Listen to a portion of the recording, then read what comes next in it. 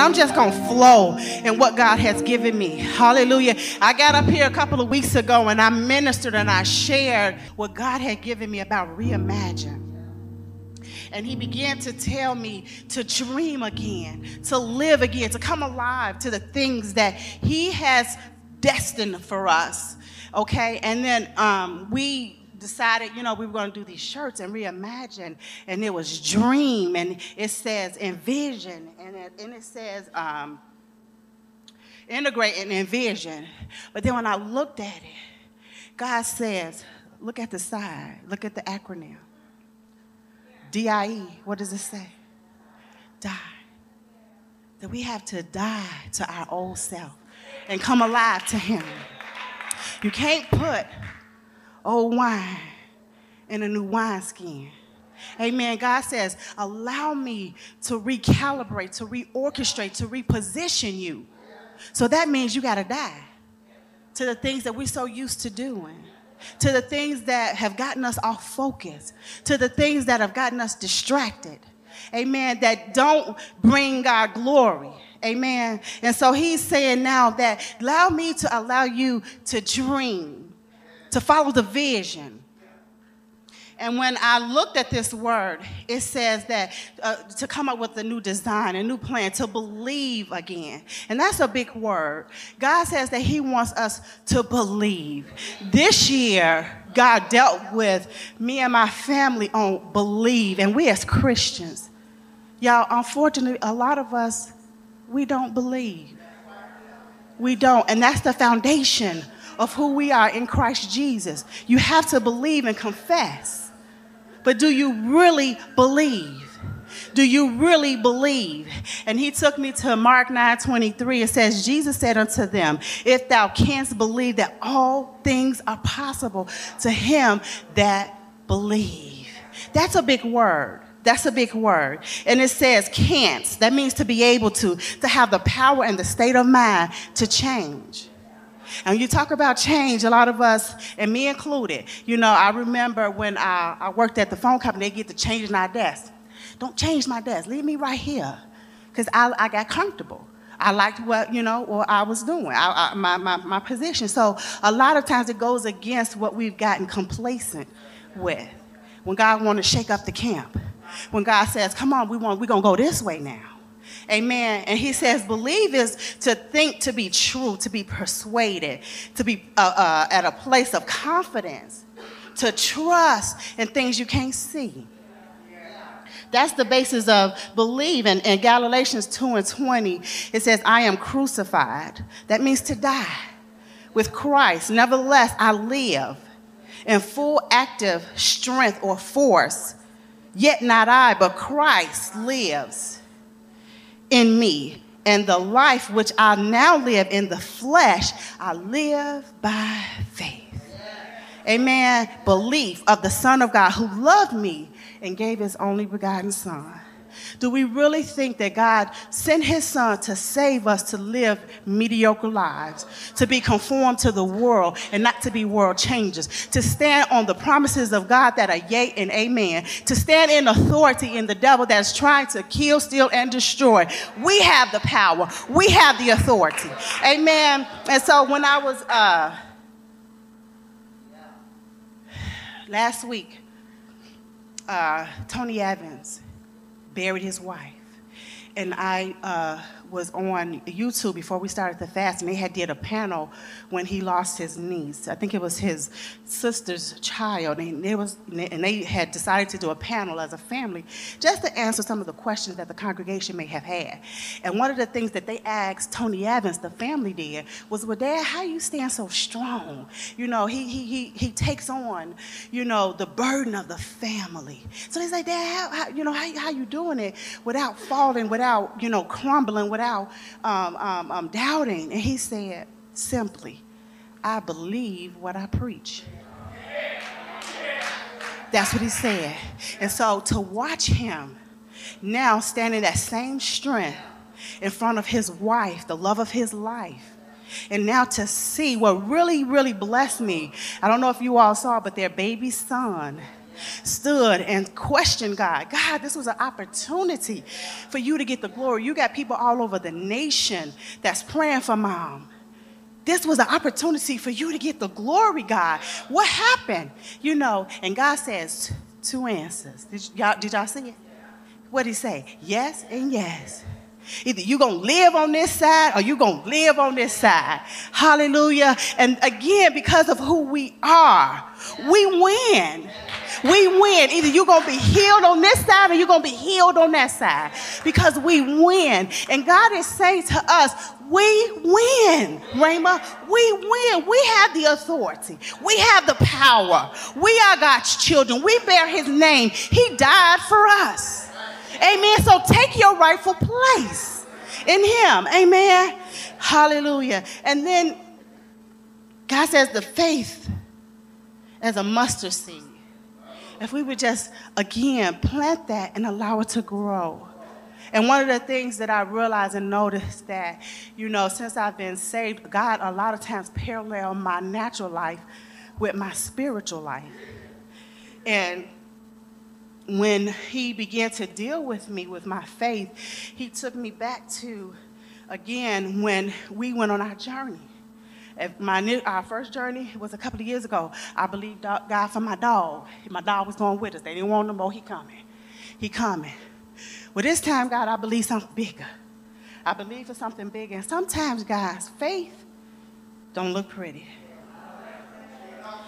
It don't look pretty. But we so accustomed to doing it our way. We're so accustomed to being comfortable. I believe God as long as I'm comfortable. And then when I become uncomfortable, then I become, you know, a little shaky. No, this ain't God. No, this ain't God. Think about Mary. Do you think she was comfortable when saying yes to God?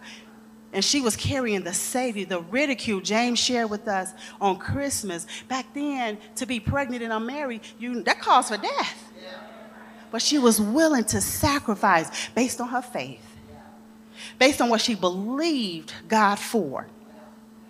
But then on the other hand, you know, uh, Elizabeth and her husband, Zachariah, when the angel, he was a priest.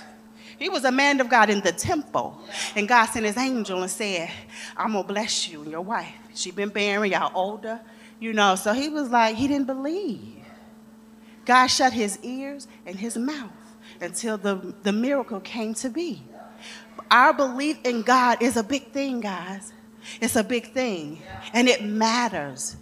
Amen. It matters to God when we take a position of belief, we take a position of faith, and that we can accomplish the unexpected, that we can believe God for things that the world say no to. You know, the world send us, they, the, the, they send us letters saying, yeah, yeah, no, y'all gonna get, y'all not gonna get it, y'all not gonna get it. And here it comes, we got it. Amen.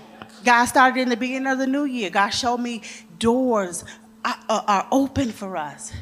He ministered to me. I had to go get my son, pick him up. And I, am a stickler for time. And I was running late, and I, I got antsy. And I was like, I'm going to be late. I, I can't be late. But as I was driving down 59, and 59 have a lot of lights. It's like an expressway, but it have a lot of lights. You know that God, every light was green. And when I got to my destination, God says, I was on time. He said, doors have been opened for you. And he has been showing me that since the year, you know, started. Doors are open. And not just for me, but for those who name the name of the season that we're in. You have to discern the season that you're in. Amen. We are in a season to believe God, to believe God. But we must yield ourselves unto God. We need to do a checkup. We need to do a tune up. We need to be made whole. And God just began to minister to me again about wounds. You know, a lot of us have been wounded you know, and wounds need to be healed from the inside out. They need to be healed from the, the inside out. And then um, he showed, uh, you know, people that are on life support in the hospitals, they go to the doctors and get the instructions on how, you know, to, to get off. God said, we got to come to him. We got to get the instructions. We got to get the healing. We have to be made whole. And the scars are just an example of what we've been through. When Jesus rose from the dead and showed Thomas his scars, it was from a place of authority. It was from a place of authority. We have authority, Rhema. We have authority. We must speak those things that are not as though they were. Write them down, make them plain. Hallelujah. Keep them before you. Hallelujah. Keep them before you. Allow Holy Spirit to lead into God. Hallelujah. And Bishop was telling us last week, you know, that we have to, again, reposition ourselves for God to do the work in us. During this fast, I'm hearing people say, you know, God is telling us about us. God is telling us about me. You know, and again, all the promises of God are yea and amen. And if we just follow God, we win every time. We win. We win. Hallelujah. And so, therefore, we must be able to expand and evolve. We must put ourselves on the table to be ministered to. Hallelujah. And then God wants to bring us in to build a relationship with Him. Hallelujah. Some of us, our perspective of God is not the perspective that He wants us to have. It's a little distorted because of some of the things we've been through. And so God says that He wants us to build a relationship. And a lot of times when we build things, it's bigger than when we started out. Amen. It's bigger than you.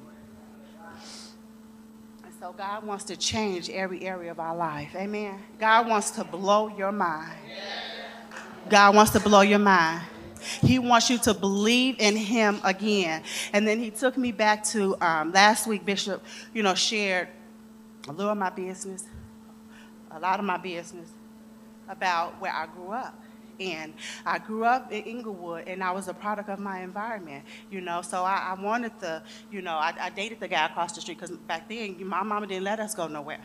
You know, she didn't have a car, so she didn't go nowhere, and we didn't either. And so when I met Bishop, you know, he wasn't my type. Like he said, you know, he didn't have an earring and, you know, he didn't have all of that. But he began to show me things that I had never seen before. And God says that He wants us to come away with Him so that He can show us things that He's never, we've never seen before. He wants us to build a relationship with Him. He, we had to draw close to each other in a way where I was at least being able in His presence for Him to do some of the things that He wanted to do as, as relates to, you know, building a foundation, building a relationship. And then God, on the other hand, He began to send people and place people in my life that became surrogates because I wasn't saved. I didn't grow up in church, so I didn't know about church.